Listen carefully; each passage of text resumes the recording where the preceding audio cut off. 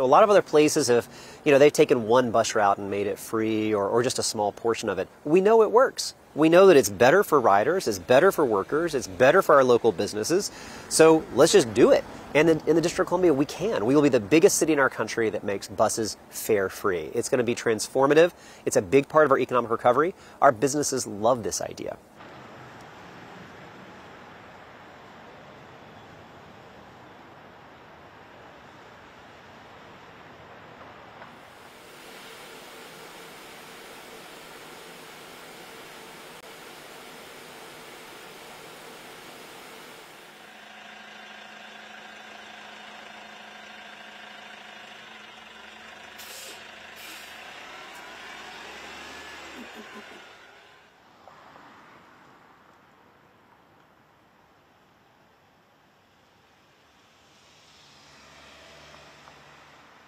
Sometimes I catch the train and trying to pay for the bus and the train can become overwhelming if you go to work every day like I do.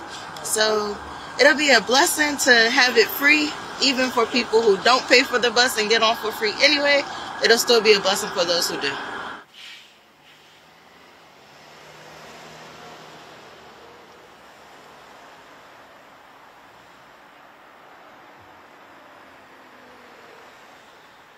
When you're not having to spend the time tapping and paying your fare, you're just getting people on, you're getting people off. We know that the buses will actually speed up and we'll see efficiencies of 20 to 30% of more frequency of our buses.